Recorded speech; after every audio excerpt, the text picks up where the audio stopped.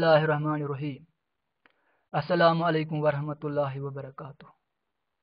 I am Abdul Qayoom E I Naugam dear students welcome to all of you in the online class of F E I Naugam dear students in previous lecture we have discussed about electric circuit now today we will discuss about symbols of various components in electric circuit.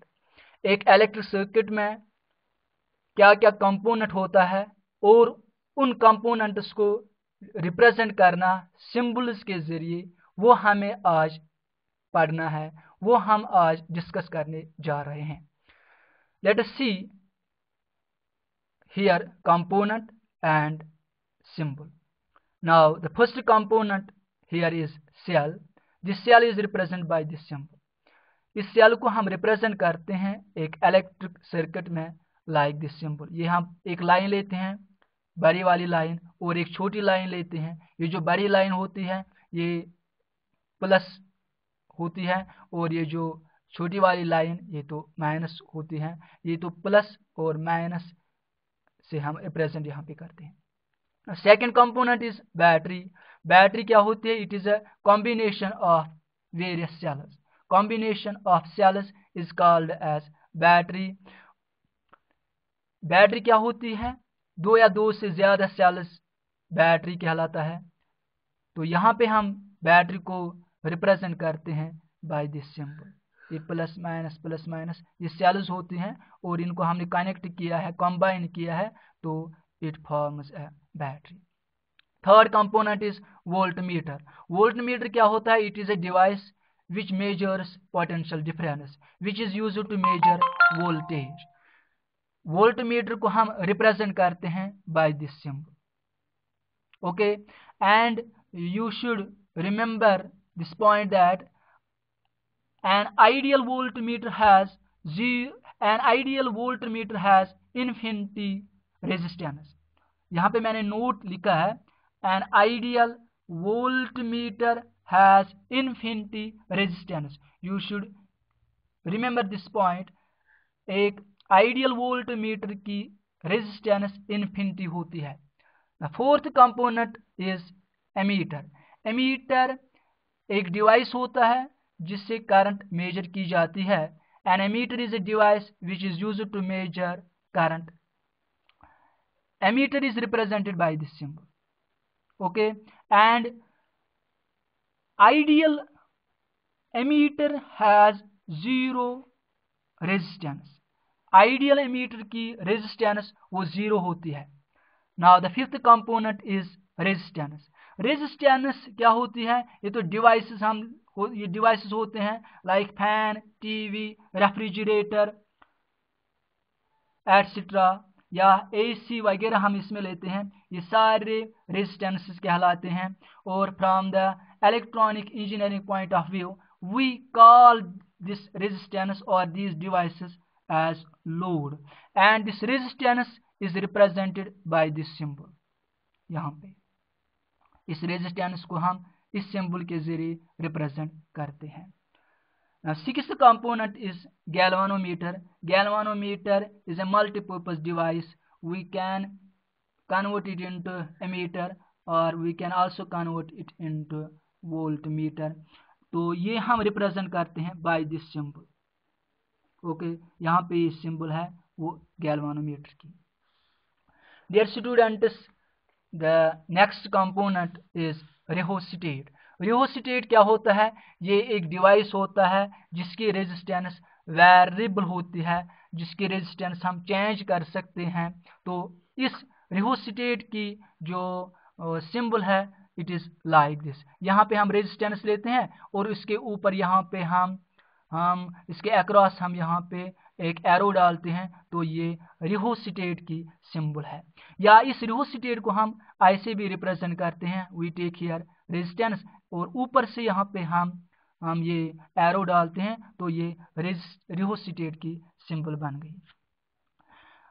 रिहोसिटेट के बारे में और दो तीन points में आपके knowledge के knowledge में ऐड करना चाहता हूँ। वो ये है कि अगर हम एक सेल लेंगे, उसके अक्रॉस पे यहाँ पे हम ये एरो डालते हैं तो इट अब इस सेल की जो पोटेंशियल है, जो इसकी रेजिस्टेंस है, वो भी हम चेंज कर सकते हैं। तो अब ये वेरिएबल सेल कहलाएगा। ओके हुज अब वेरिएबल सेल क्या है? Whose voltage can be changed अब जिस सेल की हम ये जो वोल्टेज है, वो चेंज कर सकते हैं तो उसको हम वेरिएबल सेल नाम देते हैं, क्योंकि यहाँ पे हमने एरो डाला। ठीक है? अब ये वेरेबल सेल कहलाएगा। जो आपने देखा होगा कि जो ये रेफ्रिजरेटर होता है या जो इन्वर्टर्स वगैरह होते हैं, वहाँ पे ये स्टेबलाइजर हम लाते हैं। उसकी, वो तो उसकी जो ये वोल्टेज होता है, वो तो उसकी वेरेबल रेजिस्टेंस होती है। वेरेबल वोल्टेज होता है, वो उसको स्टेबलाइज करता है। तो स्टेबलाइजर भी एक किस्म का रिहोस्टेट बनता है। Now the next is switch switch को हम रिप्रेजेंट करते हैं बाय दिस सिंबल ठीक? अगर हमने ये सिंबल ये जो ये जो लाइन यहाँ पे आपको दिख रहा है, ये जो लाइन है तो अगर हमने इस डॉट के साथ कनेक्ट नहीं किया तो ये ऑफ़ स्विच या ओपन सर्किट कहलाता है. Off switch this mode is called as off switch means के इस वक्त स्विच ऑफ़ है ऑन नहीं है. ऑफ़ है। अगर हम स्विच को ऐसे रखते हैं यहाँ पे तो अब ये ऑन कहलाएगा means the circuit circuit is close ऊपर जो आपको दिख रहा है, ये तो ओपन सर्किट कहलाएगा। उस वक्त सर्किट ओपन है। तो यहाँ पे अगर हमने स्विच ऑन किया तो सर्किट क्लोज होगा। अब उसके बाद ये जो स्विच है, इसको हम की के ज़रिए भी यहाँ पे रिप्रेजेंट करते हैं। की को हम इलेक्ट्रॉनिक सर्किट में दिस सिंबल से रिप्रेजेंट करते हैं। इसका मतलब है कि ये, की जो आपको दिख रहा है, ये क्लोज्ड की है। अगर हमने इस की में डॉट यहाँ पे नहीं डाला तो ये ओपन की कहलाएगा। The second is junction junction क्या होता है? Joining of wires wire more than two conductors meet यहाँ पे जो, इस जंक्शन को हम ऐसे रिप्रेजेंट करते हैं। यहाँ पे एक वायर है यहाँ तक, यहाँ से लेकर यहाँ तक और ऊपर से भी एक लाइन है, एक वायर है। तो यहाँ पे ये मीट हो गए, ये वायर्स जहाँ पे मीट हो गए आपस में तो इसको हम नाम देते हैं जंक्शन अब इस जंक्शन में यहाँ पे आपको दिख रहा है कि तीन कंडक्टर्स है। यहाँ से लेकर यहाँ तक एक यहाँ से लेकर एक, यहाँ से। तो ये एक पॉइंट पे मीट होते हैं, इसको हम जंक्शन नाम देते हैं। तो अगर ये वाली सिंबल आप अच्छी तरह से देखोगे लाइक दिस सिंबल ये तो यहाँ पे सिंबल है जंक्शन की। यहाँ पे फोर कंडक्टर्स हमने लिए फोर डिवाइस यहाँ से लेकर यहाँ तक, यहाँ से लेकर यहाँ यहाँ से यहाँ से। तो ये भी जंक्शन कहलाएगा। Wire these wires meet each other is called as junction इसके बाद जो नेक्स्ट है, वो आपको टेंथ जो कंपोनेंट है, वो तो जंपर कहलाता है। जंपर क्या होता है? Wires not meeting each other jumper क्या होता है?